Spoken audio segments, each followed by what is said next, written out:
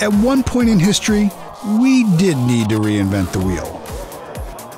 What's the value of one good idea? Be open to receiving your idea today.